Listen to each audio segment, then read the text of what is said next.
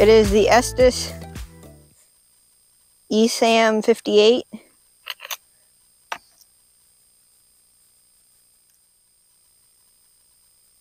Okay, all good, ready to go.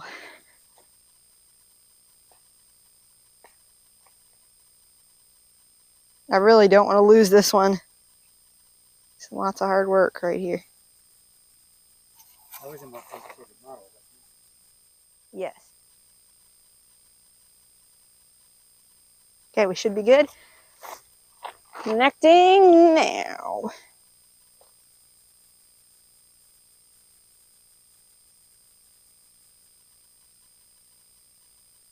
This is, I think, the lowest flying one of all of these.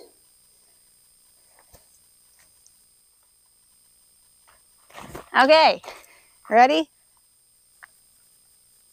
Five, four, three, two, one, fire.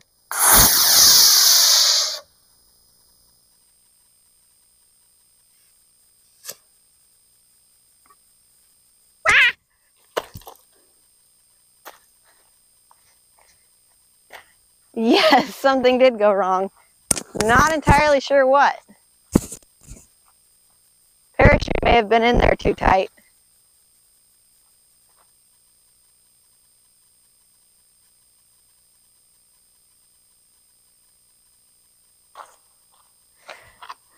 Parachute did not come out.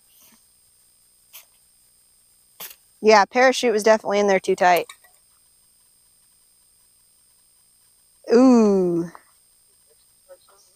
No, it did. Just came pretty late in the process.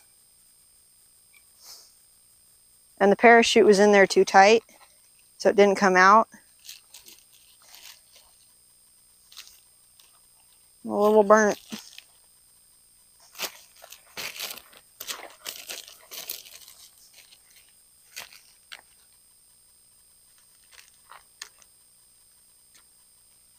Their parachutes are not the greatest built. It's not durable at all. They're super thin. But that's what should have been waiting to catch it. But, you know, didn't open. Yeah. And it survived with, well, it is damaged a little. It landed on here and it put that in so I can try to pull it out. But I was most worried about the fins, and the fins are all good. So that's good news. Okay. Well, that was not quite a successful launch, but it was a launch. So, thanks for watching this episode of Calin's Outdoor Adventures. If you like this episode, you might like some of our other rocket launch videos. Thanks for watching.